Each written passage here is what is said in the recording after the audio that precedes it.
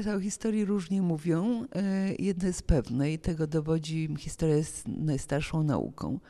E, I e, doświadczenie historia jako nauki dowodzi jedno, to co Pan powiedział, że prawda zawsze wyjdzie na jaw. Czasem trzeba na to 5 lat, czasem trzeba, jak w wypadku zapory i żołnierzy wyklętych 50, czasem bywa, że jest 100.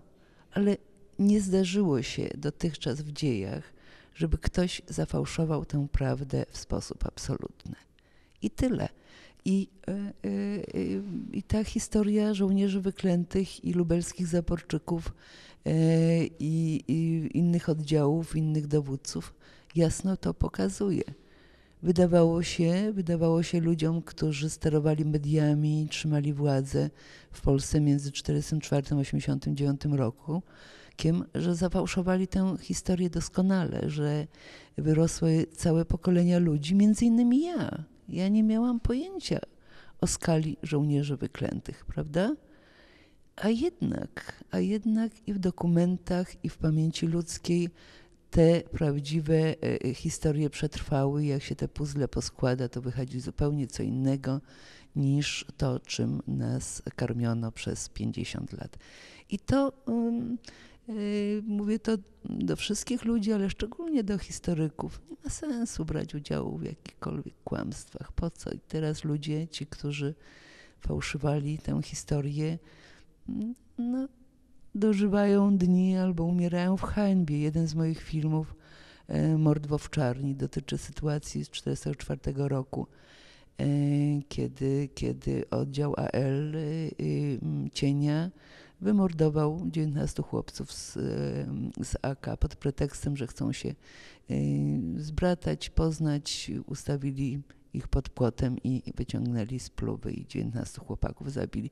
Przez 50 lat mówiono, że było odwrotnie oczywiście, że to oddział AK napadł na, na oddział cienia czyli współpracującego z, z, z Sowietami, ar, ar, współpracującej z Sowietami Armii Ludowej i, i, i że takowcy ich wystrzelali. No, wzięłam ekipę, pojechałam w teren, zrobiłam film. Ludzie na drodze po prostu pamiętali, powiedzieli z nazwiska, tu się stało to, tu, to, tu, to. Więc y, po prostu to jest tylko kwestia czasu, jak ile, y, powtarzam raz jeszcze, ile potrzeba czasu na odkłamanie jakiegoś kłamstwa sfabrykowanego przez, y, przez często przez władzę, najczęściej przez władzę, bo to się zdarzało od starożytności, że i, i, i, w Imperium Rzymskim, i w Rzymie, i w Grecji bywali władcy, którzy coś tam chcieli fałszować i potem przez kolejne wieki kolejni królowie. I po dziś dzień mamy to do czynienia z, z próbami fałszowania i, i, i, z kłamstwami historycznymi. I powtarzam raz jeszcze, no nie ma to sensu, po prostu nie ma sensu. Na szczęście w porę udało się, jeśli chodzi o Zaporczyków, e, tę prawdę uchwycić i, i, i to kłamstwa odkłamać. W innych, y, w innych rejonach y, y, jest gorzej, jeśli chodzi o żołnierzy wyklętych, ale też powoli, powoli ta, ta, ta prawda się przebija. Generalnie tak, muszę powiedzieć, że, że są oczywiście różne oceny i różne koncepcje. Jesteśmy narodem rozpolitykowanym, jesteśmy narodem, e, i to dotyczy wszystkich generacji, które jednak historią się interesuje. Myślę, że dużo krzywdy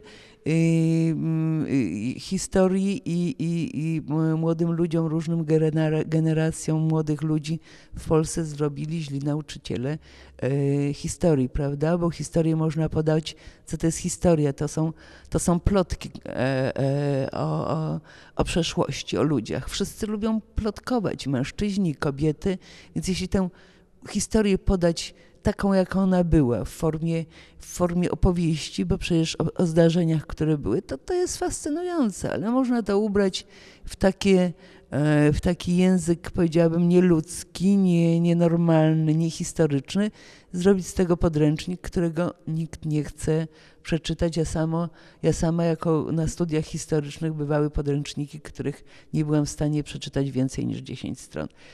Y, No ale to już tak zawsze było i tak już tego nie zmienimy, że od, od starożytności bywali historycy, którzy y, pisali prawdziwe rzeczy i mądre, ale strasznie nudne i niestrawne dla przeciętnego y, człowieka i, i inni, którzy tę historię